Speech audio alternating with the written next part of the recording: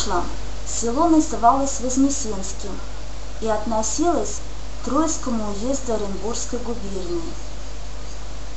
Датой основания села считается 1755 год, когда сюда переселили крепостных крестьян. Можно сказать, повезло селению. Уральская земля явила не только медь и железо, но и золото.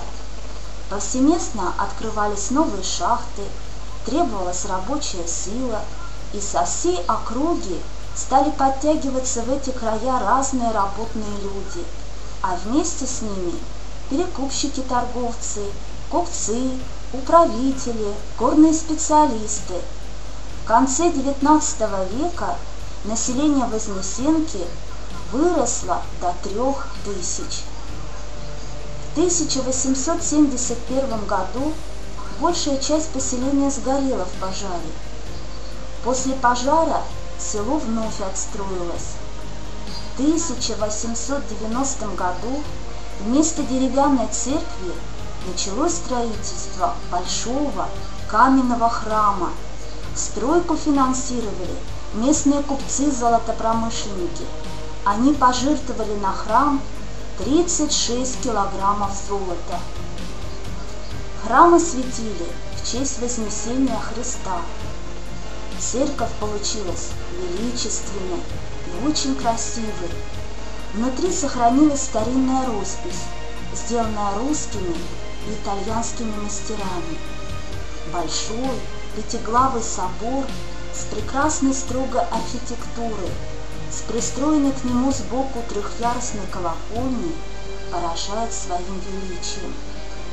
Серовато-голубоватый, с остальным отливом луковки, всех глав, похожи на шлемы древнерусских богатырей, а кресты на них отливают золотом.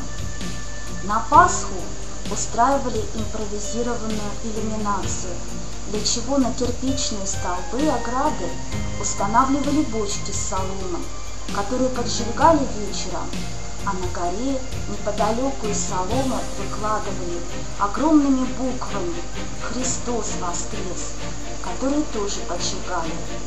С горы стреляли из пушки холостыми снарядами. В 1930-е годы церковь закрыли, колокольни скинули колокола. Самый большой колокол разбился, его отправили на переплавку. Один из небольших колоколов по местной легенде утопили в озере Ворожеич.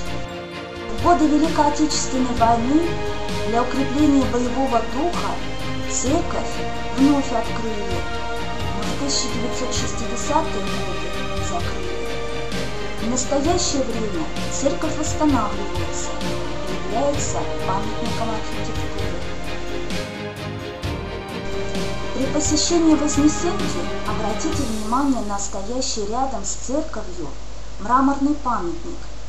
Это монумент Александру II, освободившему Россию от крепостного права. Он был установлен в 1884 году.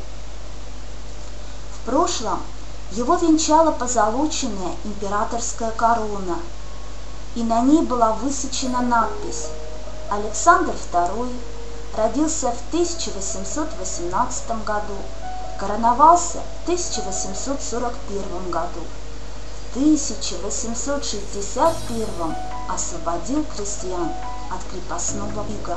После падения царизма корону сбили и установили знак союза крестьян и рабочих.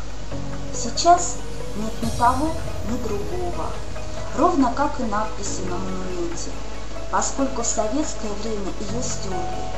Тем не менее, памятник уникален, поскольку один из немногих сохранился. От Вознесенки ходит на горный хребет Алабия. На западном склоне хребта Алабия начинается легендарная река Урал, а на восточном – река Уй.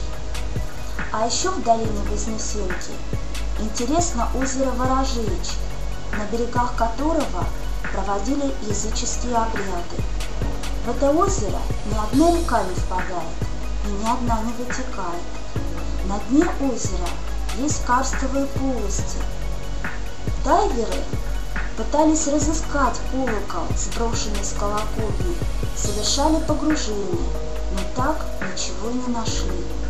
Может быть, он и провалился в одну из таких полостей. Неподалеку от озера находится Шариповский водопад.